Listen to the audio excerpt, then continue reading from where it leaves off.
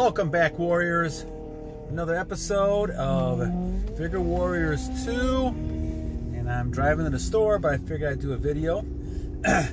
One of the good questions that we had, and once again, thank you for all the questions, the ideas um, that we get, all kinds of great questions. And I have another, another set of uh, ideas to talk about as we go through this. Had a good response on the Fountain of Youth. I think I'll do another one on that one as well.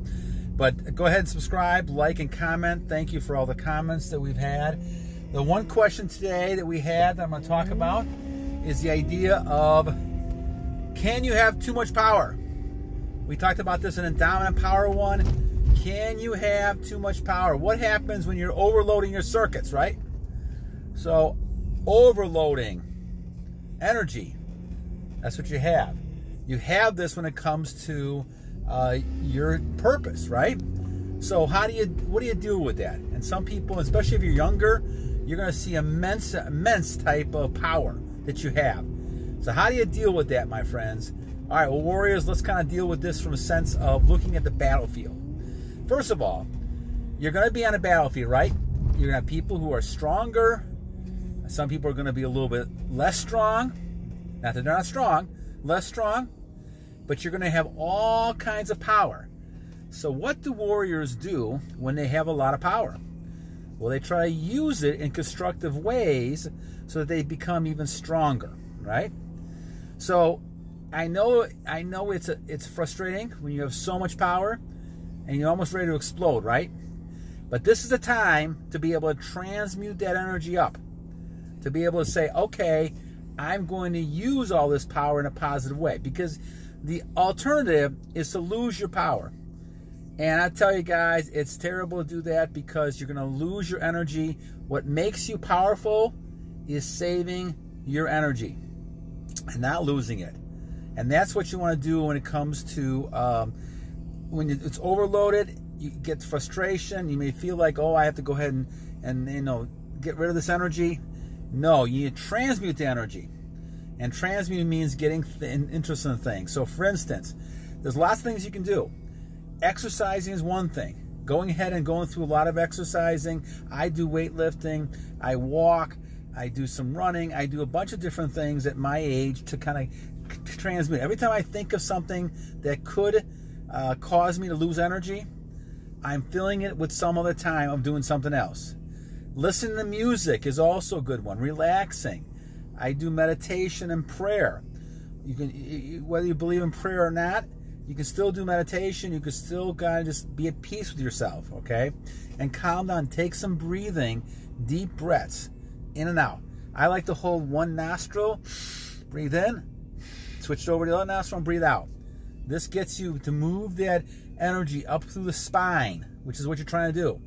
You're trying to move that energy from down there up there. Remember the chakras we talked about? The chakra is down there. You need to kind of get that moving up the spine because that's where all the chakras are. And the Kundalini, all that stuff is working together. And and whether you call it, you know, Brahmacharya or Kundalini, all this kind of stuff, you still got the same principle. And I believe it's true. And if you can transmute that energy back up then you can use it for great purposes. And it's going to help you in, in fighting disease. It's going to help you in a lot of those things that, you know, people don't realize how powerful this is. So, when you got all this energy, it can get frustrating to not be able to use it. But you really going to want to use it to the point where you can really handle the energy that you have. And what another thing you can do, obviously, is you know, get involved with activities, doing stuff around the house, getting involved with activities around the uh, neighborhood you're in. Go ahead and just get involved because the more you're involved, the less time you're going to be thinking about all this other stuff and possible temptation to go ahead and uh, relapse, right? And so, what you really want to do is kind of say to yourself, okay, I have all this abundance of energy. How am I going to use it? I would get a pad of paper and I would say, these are the goals I'm going to try to achieve tomorrow. Knowing that I'm on another day of my journey and that it's temptations just around the corner. Somebody could be walking down the street, could be some kind of picture you see on TV, could be something that just pops up on your internet. you need to kind of think to yourself, okay, how am I going to fill this time up? And at first, it seems like it's just kind of filling time. Well, you are. You're getting your mind away from the idea of temptation. And once again, the mind cannot think of two things at the same time. The law of physics, you cannot think of two things at the same time. You can think of fear or um, being brave, one or the other. You can't. You're going to switch over, right? You can't. You can't do both. And so, as you look at this type of thing, you want to go ahead and say, okay, I'm going to focus on the positive. I'm going to get involved with things. I'm going to do things. I won't allow myself to sit down and spend a lot of time watching TV, especially things that uh, are not helpful, right? I'm going to focus on development, doing the things I need to do to go ahead and find ways to transmute this energy into something more powerful. And that's one of the reasons how you can overload it. But it is it is tough. You have an abundance of energy. It's kind of it's it's so powerful, my friends. This is so powerful. and I wish I would have I would have you know known this 40 years ago. I was able to to harness it. I'm just harnessing now, and I have a lot of energy, guys. I have a lot of energy, as you can tell, and I'm 60 years old. You guys are 20 years old, 30 years old. You got abundance of energy, right? But don't waste that energy. Don't waste that energy. I, I was foolish for a lot of years because I did not take it as seriously as I should have. Uh, yes, I did some good things with the Fountain Youth, and I it, it made some you know it's, it's, benefits that I have now. But the one I could not do, number six, and we'll talk about that in another video. The one I could not do is the retention until the last 400 almost 75 days coming up.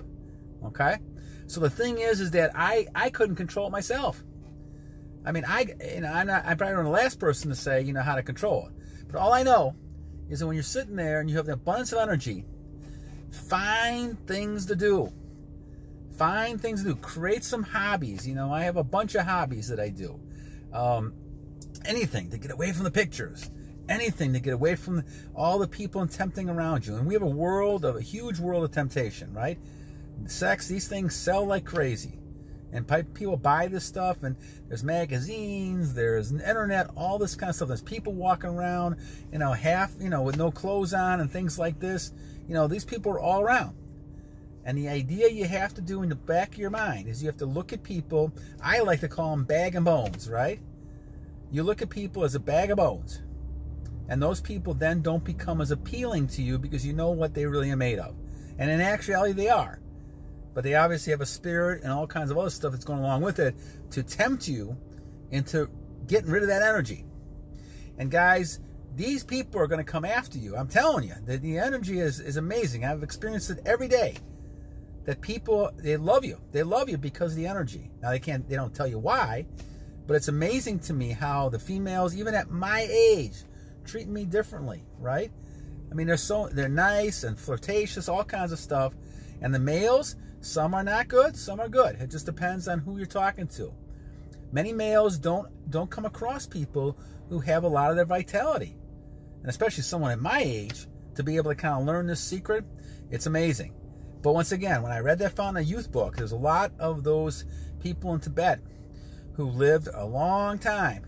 And there's no reason why you can't live past 100 years old. People living in 110, 120. And yes, some of that's genetic, but a lot of it, my friends, is using the right lifestyle, having the retention, being able to kind of add all that together, and being able to live really, uh, you know, a, a victorious, vigorous life that you can. But yes, you're going to have a great amount of, of energy.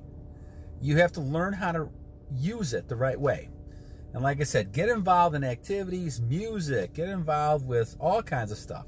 And you can see I'm kind of an excited stage myself right now, right? I only sleep a few hours a night.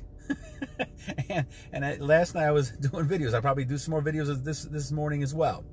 But the thing is, you have so much energy, you got to find things to do. I can't even sleep half the time. And even at, like I said, 400, you know, 70 days, some some days, I've still got a, a boundless energy. And so I can imagine, guys, if you go a couple hundred day, a couple hundred days here, at your at your ages, some of the younger younger people in the in the viewing audience should, you know, you guys are going to be incredible. You're jumping off the walls, but you got to learn how to try to harness it. And that was my big problem for many years. So I can understand and empathize with all of you. But I'd say try to find things constructive, working out, lifting, push yourself to the limit, exert the energy, run a few miles around the block if you have to, right? But get to the point where your mind is no longer thinking about that temptation.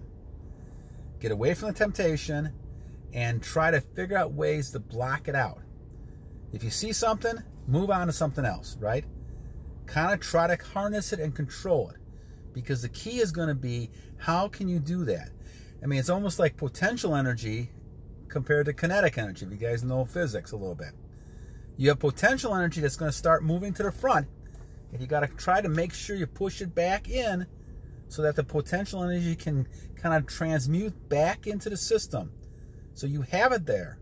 And the kinetic energy then is transmuted into a positive force that you can use to, to do things, whether it's to stay in shape, whether it's to go ahead and accomplish building a building, uh, whether it's working out, you know, whether it's uh, creating a, you know, architecture design, creating all kinds of stuff. You can do lots of things creatively. But you got to get things, find things to do. Create a hobby, do some music, whatever it might be. Find things to do to take care of this energy. So, guys, having great energy is a blessing. Having a great sexual energy is a blessing. You just got to learn how to use the right way. Napoleon Hill said this in his book. It's a blessing. Not not everybody has this, my friends. But don't waste it away. Look at all those people who could have had millions and, and did all kinds of stuff and they blew it away and because they wasted their energy drinking and chasing women around. Just saw a nice thing on Nikola Tesla. Yeah, he didn't, you know, he he knew the the energy. You know, he knew it. He conserved it his whole life. And look at all the things he came up with. And so that's a good a good sign, a good person that can you can use as a model to find out how you can you know keep that energy. Okay? I know I was excited on this one, but I, I empathize totally. You have abundance of energy. But find ways to use that, my friends. Use it in a way where you can actually transmute it and become victorious and battle on and fight these people that are your energy suckers the vampires, the succubuses, the zombies who want to just take control. And they're going to come after you. They're going to come after you for your energy. But fight on, my friends. Fight on. All right, enough of the excitement today. Until next time, battle on, victorious warriors, vigor warriors.